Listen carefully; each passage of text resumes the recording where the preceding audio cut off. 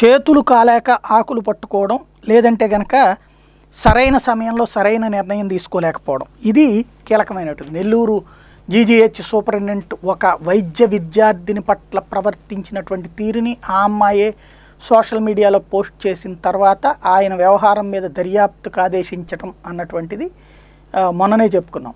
అమ్మాయిని శభాష్ అని కూడా చెప్పుకున్నాం. అలా ధైర్యం చేయాలి ఇలాంటి తప్పుడు మనుషుల విషయంలో అన్నటువంటి. అయితే ఆ టైంలోనే ప్రభుత్వం చేసిన ఒక తప్పుడు పని ఏంటి తప్పు పని ఏంటి అంటే తనని ట్రాన్స్ఫర్ చేసింది తిరుపతి రుయ్య హాస్పిటల్. నేను ఆ రోజునే ప్రస్తావించాను. అసలు ఇట్లాంటి వాళ్ళని అరెస్ట్ చేయాలి సస్పెండ్ చేయాలి కానీ ట్రాన్స్ఫర్ చేయడం ఏంటి అన్నటువంటిది. ఇప్పుడు నెల్లూరు ప్రభుత్వ సర్వజన హాస్పిటల్ మాజీ సూపరింటెండెంట్ ప్రభాకర్ మీద సస్పెన్షన్ వేటు వైద్య విద్యార్థిని లైంగికంగా వేధించినట్టు ఇటీవల వెల్లువెత్తిన ఆరోపణలు. ఫోన్ రికార్డుని వైద్య విద్యార్థిని బయటపెట్టినటువంటి నేపథ్యంలో విచారణ చేపట్టి తాత్కాలిక చర్యలో భాగంగా రెండు రోజుల క్రితం కర్నూలుకి బదిలీ చేశారు. ప్రాథమిక నివేదికలో ఆరోపణలు నిజమని తేలడంతో ఆయన్ని ఆయన మీద సస్పెన్షన్ వేటు వేశారు. ఇది ముందే చేసి ఉండాలి. సస్పెన్షన్ చేశాక ఎంక్వైరీ చేస్తే కరెక్ట్గా ఉంటుందా? ట్రాన్స్ఫర్ చేసి ఎంక్వైరీ చేస్తే కరెక్ట్గా ఉంటుందా?